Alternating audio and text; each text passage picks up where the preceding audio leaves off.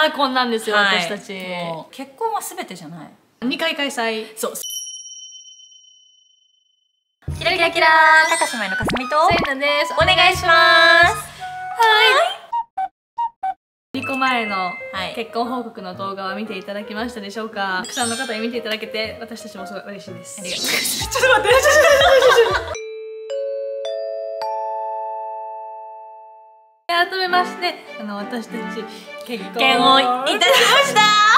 もう一回言おう。もう一回もう。一回せせーの。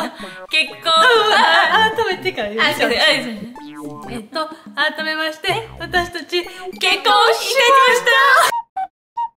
ということでそうです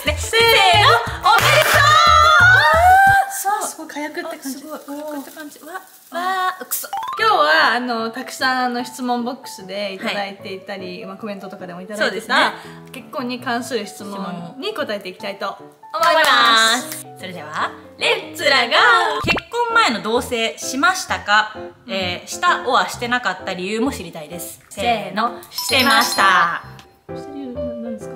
した理由は私は別にしなくてもいいと思ってたタイプ。私はもともと一人暮らしもしてたしあっちも一人暮らしだったから別に生活できるスキルはある。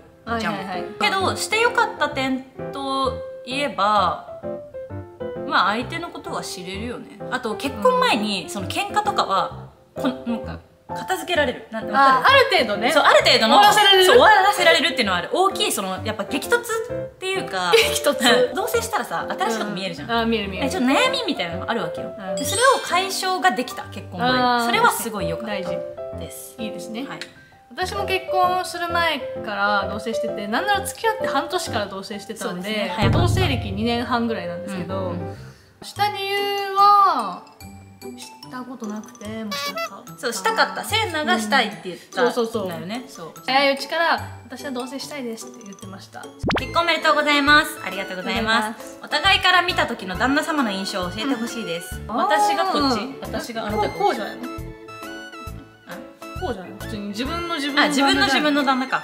うん。あそうです。あどうぞ。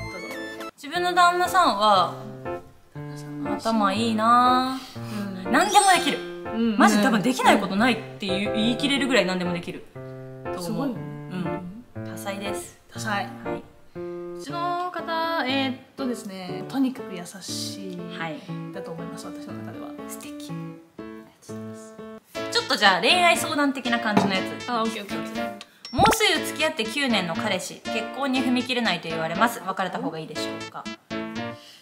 結婚に踏み切れない結婚に踏み切れない踏み切れないってなんだろうね、まあ、でも一つ言えるのは結婚した身で言うのもあれだけど結婚は全てじゃない結婚したからといって幸せなわけではないっていうのはマジ一つあるそうだねなんか旦那さんが断固として結婚なんか結婚という概念が嫌だっていう,、あのその旦那さんの友達がいて、でもいると思うでもその人が結婚したの私たちより先にでそれがなんでかっていうとその奥さんになったその時の彼女が、なんかその結婚はしたくないんだよな、うん。みたいな。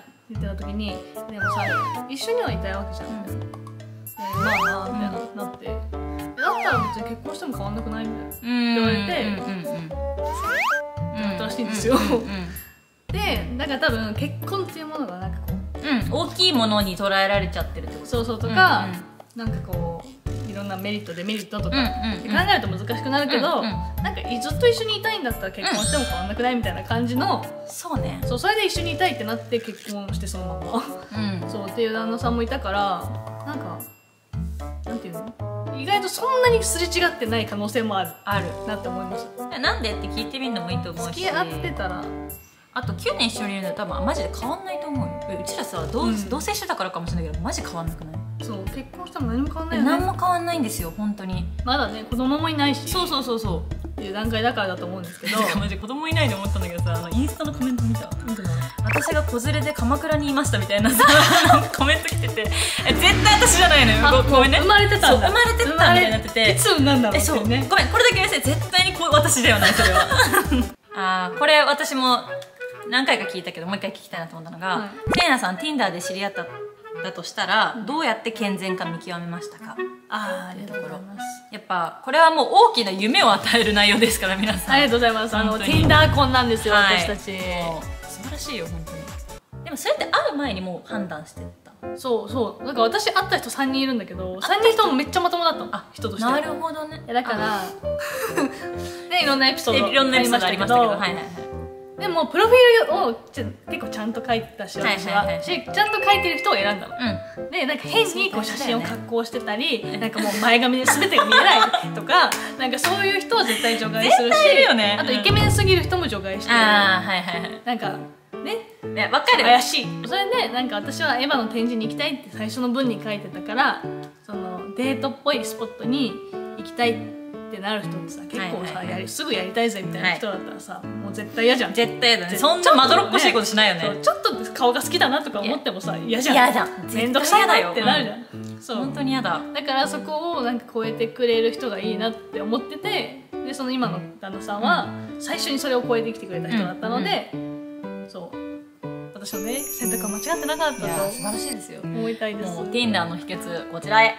両親への挨拶顔合わせなどはどうしましたか？気が重くて。はいわかりますよ。もう。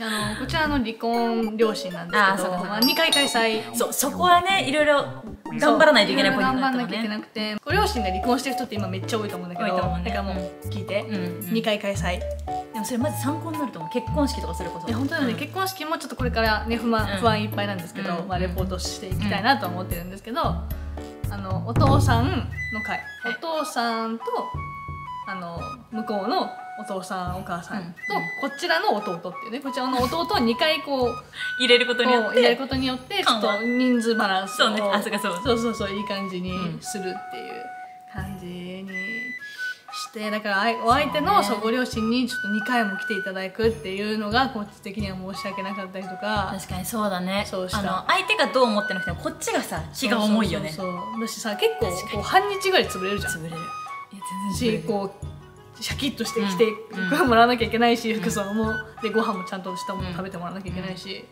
そうっていうのはすごいちょっと申し訳なかったのではい。まあでもあの可能です全然。